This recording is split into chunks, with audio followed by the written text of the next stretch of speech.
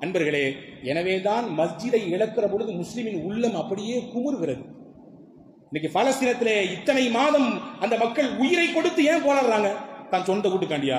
நிம்மதியா அங்க வாழன்றதுக்காண்டியா ஒரே ஒரு காரணம் மஸ்ஜிதுல் அப்சாபை மீட்டெடுக்கனால தான் அங்கே அவர்களின் கையிலே சிக்கியிருக்கக்கூடிய பள்ளிவாசல் இறையில்லம் இது. அல்லாவி சஜிதா செய்- செய்கிற இடம் இது.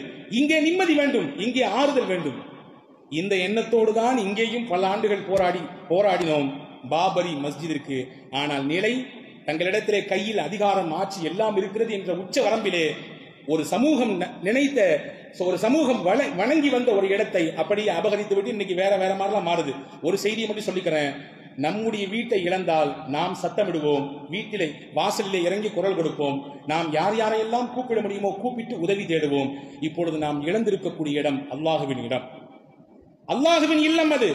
காபாவை இடிக்க வேண்டிய ஆபரகா வந்தான். வருகிற நேரத்திலே ஒட்டகங்களை பிடித்து வைத்துக் கொண்டான். ஒட்டகங்கள் அப்துல் முத்தலிபுக்கு சொந்தம். அப்துல் முத்தலிப் வந்து ஆபரகாவிடத்துல என் ஒட்டகத்தை தான் கேட்டாரு. உங்க ஊர்ல இருக்கக்கூடிய பில்டிங்கை இடிக்க வந்திருக்கேன். நீங்க எல்லாம் வணங்கக்கூடிய அந்த கட்டிடத்தை இடிக்க வந்திருக்கேன். அதை பத்தி எதுவும் கேட்காம உனக்கு சொந்தமானதை மட்டும் கேட்கறியே என்ன நியாயம்னு கேட்டான். அப்துல் முத்தலிப் அழகாக சொன்னார் இந்த ஒட்டகம் எனக்கு சொந்தம். நான் தான் கேட்டாக வேண்டும். அந்த கட்டிடம் எனக்கு சொந்தம் இல்லை உரிமைப்பட்டவன் கேட்பான்.